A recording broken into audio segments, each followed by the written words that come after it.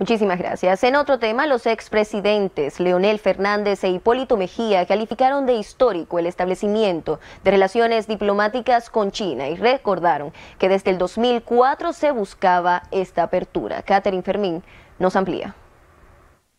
Al preguntarle sobre las críticas de los Estados Unidos en relación a los acuerdos dominico-china, precisaron que el país es soberano y puede establecer relaciones con cualquier nación.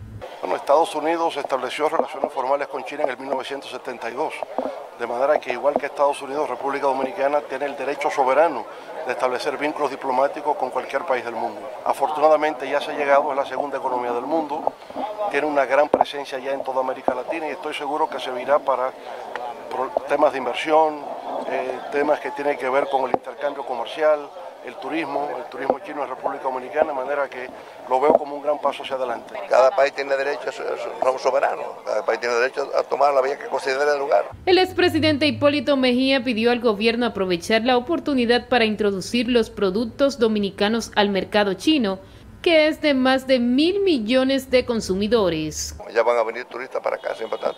Yo espero que consuman cigarros dominicanos y vender algunos manguitos, ojalá que le puedan vender algunos manguitos para allá que lleguen, que lleguen naturalmente frescos y de buena calidad. Ambos expresidentes de la República coincidieron en el acto de apertura de la Embajada China en el país.